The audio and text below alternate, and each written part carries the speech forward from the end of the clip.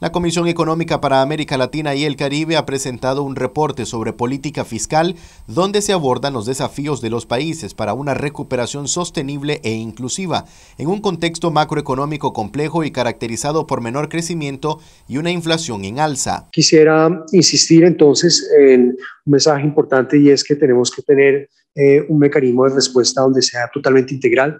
teniendo en cuenta, como mencionaba al inicio, un buen manejo de la gestión de la deuda pública, también tener en cuenta una buena gestión del gasto público,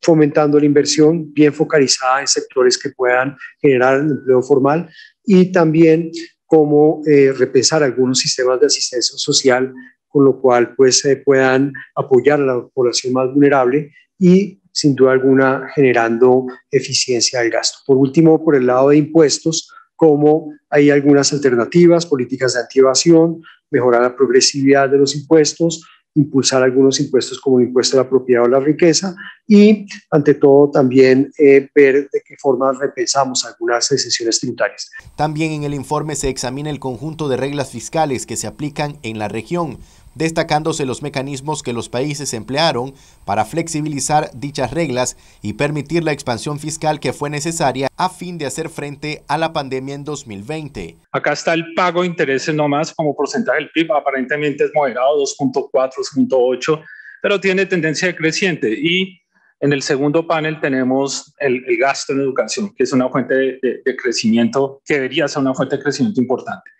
Decreciente mientras el otro aumentaba. Si comparamos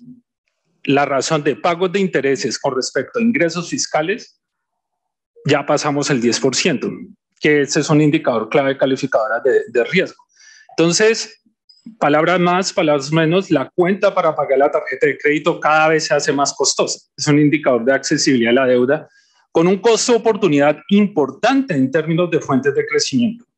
Si vemos el servicio de la deuda, que es pago de intereses más amortizaciones, Hoy en día pagamos 1.3 veces más de lo que gastamos en educación y el 80% de lo que gastamos en salud. Marcos Medina, Noticias 12.